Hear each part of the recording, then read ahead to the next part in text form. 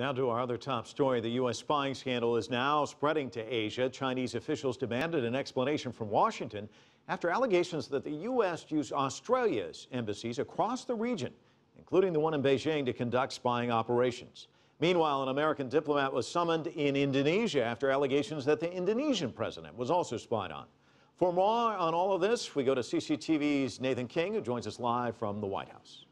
That's right, Mike. After a week of European pressure over data collection on millions of their citizens, as well as the possible bugging of the German Chancellor's cell phone, the personal one, this crisis is spreading to Asia.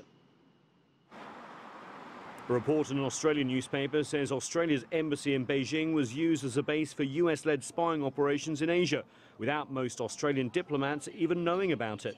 Why would the US use Australia's embassy? Well, Australia is part of the so-called Five Eyes alliance of countries that share their intelligence and promise not to spy on one another. Australia, Canada, New Zealand, the United Kingdom and the US, this tight-knit partnership often cooperates on intelligence gathering and sharing. Responding to the allegations, China says such surveillance would go against international norms. China is extremely concerned about this report and asks that the U.S. offer a clarification and explanation. We also ask that foreign embassies in China and their staff respect the Vienna Convention on Diplomatic Relations, Vienna Convention on Consular Relations, and other international treaties, and should not get involved in any activities which do not accord with their status or jobs and harm China's security and interests. In response, the U.S. State Department says all U.S. intelligence gathering operations are under review. Uh, what I would convey to uh, people in China is that we're reviewing our programs uh, with a, a, range of principles, including uh, making sure that uh, they meet our foreign policy goals. The U.S. is now asking itself this question. Just because an operation like possibly bugging the German Chancellor's cell phone is technologically possible, is it really advisable? The US is also considering expanding the Five Eyes arrangement and may make similar agreements with close allies like Germany and France. What is unclear is whether that means it will continue to ramp up its surveillance in China and key allies in Asia like Indonesia.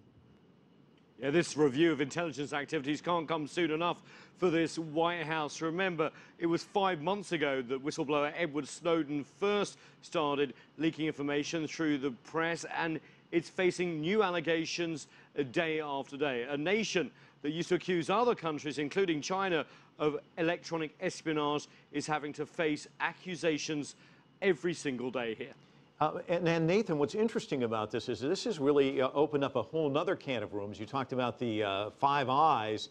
There, there, seems to be these categories of the really close allies that we'll share all this stuff with, and then the sort of allies. Um, this is also a delicate dance for the administration as well, isn't it?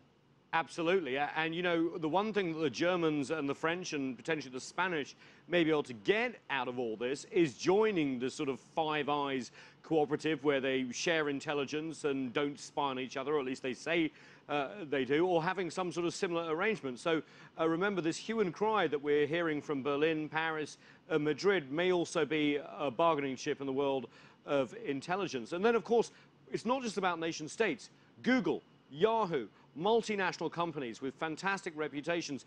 Day after day, there's press reports about how the NSA may have tapped into their networks largely overseas, maybe without their knowing. Google, for example, came out with a statement saying it's outraged if this proves to be true. Now, it's worth emphasizing that the head of the NSA, the US National Security Agency, Keith Alexander, has denied uh, this Google and Yahoo story, but they're on the back foot all the time. Denying, denying, denying, but of course, because of the very nature of their business, they can't come out and say exactly what they're doing. And how crippling has this been for, uh, you know, foreign relations and, uh, you know, the, the obvious uh, job that they have in national security? Well, I, think the national security issue is, is, the uh, most difficult one for the US. Uh, James Clapper, the head uh, of uh, intelligence here, said this has been the most damaging uh, set of leaks, the Edward Snowden leaks, since he has become an intelligence officer since back in 1963. Now, of course, alliances behind the scenes, uh, what you say behind the scenes is much different than what you say in front of the world's media and the world's camera, and I think the Obama administration feel that they can manage these sort of relationships uh, over time. But the question also comes from allies is, Are you going to in, uh, share intelligence with me or are you not? And if you think I'm, I'm an ally, then therefore you should. So if you're not doing so, am I actually a foe? I mean, Indonesia is a prime example here. You know, a linchpin of the U.S. Uh, alliance structure in the Asia-Pacific region. If we get more allegations from there, domestic opinion is not going to be very happy. Uh, Nathan King live uh, overlooking the White House.